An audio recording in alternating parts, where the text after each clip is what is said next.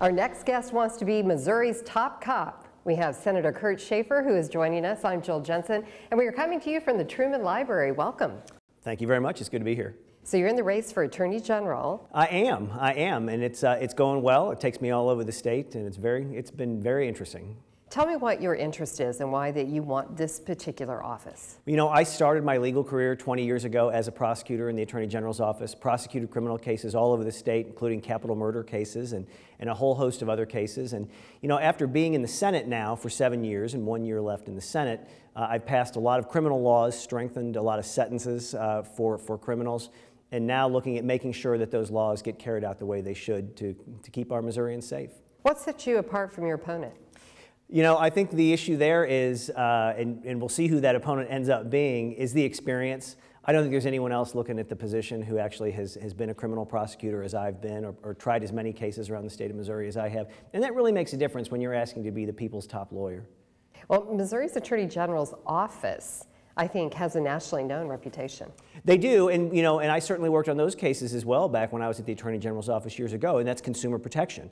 And that's one of those things that the Attorney General has what we call original jurisdiction, which is where the Attorney General can come in and file either criminal cases or civil cases on his own, really without needing a local prosecutor to be in that case with him. And one thing that I've done recently as a senator is I filed a bill, it's a state RICO bill. RICO is just an acronym for Racketeering Influenced in, in Criminal Organizations Act, which there's a federal law like that. It was passed in the 1970s, and it's really what the federal government used to crack down on organized crime. And so we don't have something like that at the state level that the Attorney General can use. But it would give the, the Attorney General original crim criminal jurisdiction to bring cases, for example, in human trafficking, political corruption, uh, uh, meth distribution and manufacturing, those things that really are bigger than just the individual crime, it allows you to throw a broad net over the entire organization. And sadly, those three things that you just mentioned, Missouri does have some problems. Yeah, absolutely. And uh, there's been a lot of discussion lately about human trafficking, as there should be, because that is a problem in Missouri as it is in many other states and around the, around the world. And also, unfortunately, we still have a substantial meth problem in the state of Missouri. Right. Uh, they, they uh, do we still between either us or California rank one or two, depending. We are always in the top five. Yes. Yeah. Um, sadly, on that. So, um, I think that those are problems too. That sometimes I think Missourians, when we live here, uh, that we feel like we're isolated and insulated even from. Well, I think so. Um, you know, and, and, some crimes certainly break down between urban and rural crimes, but we certainly have meth, for example, tends to be more of, an, uh, of a rural issue than an urban issue.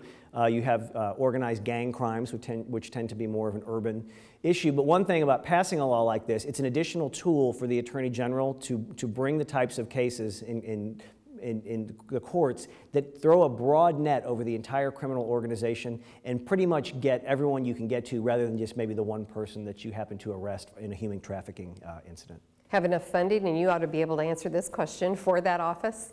Yeah, you know, it's amazing. Uh, the office, uh, the, the, office budget is about $25 million a year, which uh, in the scheme of things, it's a lot of money, but small compared to, you know, multi-billions uh, of dollars, for example, for the Department of Social Services and some of those other agencies where we see uh, the spending of resources when crime gets out of control uh, we don't have public safety. And then we have a lot of ancillary services that the state pays for as a result of that. So hopefully, if we can uh, be a little tighter on crime through the Attorney General's office and working with local elected prosecutors as well, uh, we can make Missouri a safer place. Well, with budget chair, your year in the, uh, years in the Senate, and now what you're looking forward to, it's an impressive resume. Thank you. It's pleased to meet you. Very nice. Very good to see you again. Yeah. All right, that's all the time we have.